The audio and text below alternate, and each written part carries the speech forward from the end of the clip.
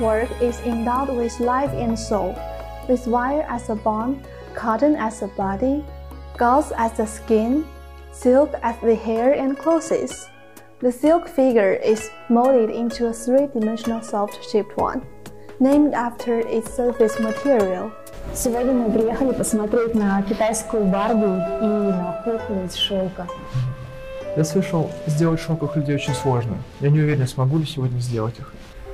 老师，我们来的时候一直在想，渲染与国外的娃娃有什么不同？你这个问题问的特别好。我们的娃娃其实最早有一个特别好听的名字，叫北京捐人。这个娃娃呢，有一千多年历史了。啊，可以追溯到我们中国的汉代。跟芭比娃娃有个区别，就是芭比娃娃的身体都是用塑料来制成的啊，实际上它是可以大规模生产的。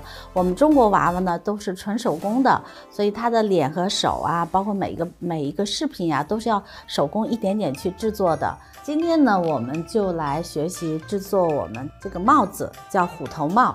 这个耳朵呢要放在这个的中间。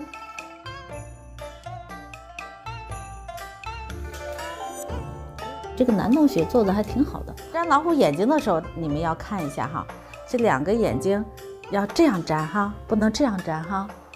那老虎是很威武的，要要眼睛要这样。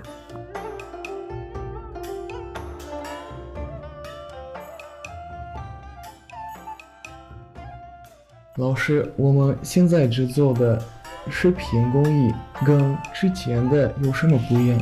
呃，这个还是跟传统的是一样的，包括我们刚才做的虎头帽，我们里面还有一些娃娃的用手工去掐丝编出来的一些饰品，也是原样保存了最传统的工艺。但是呢，这个娃娃的脸和手以前呢都是用丝绸来做的，现在就改用了石膏来制作了。